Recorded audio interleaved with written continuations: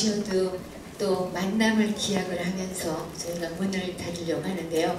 저희 꽃들 힐링 신앙송협회는 재능 기부하는 단체이기 때문에요. 저희가 그 장애인들한테 신앙송을 많이 하고 있어요. 그래서 수화로 신앙송을 하고 있습니다. 오늘은 우리 꽃들 올라오셔야죠. 어, 간단하게 사랑의 당신을 여러분과 같이 한번 하고 만남 노래를 하면서 오늘 문을 닫는 걸로 하겠습니다.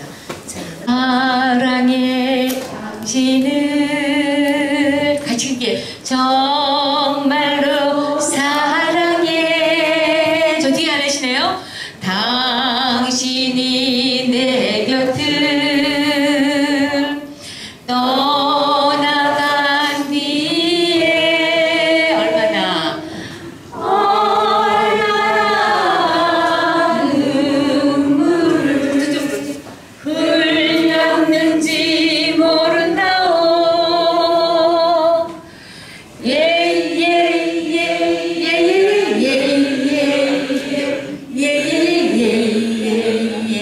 Yeah.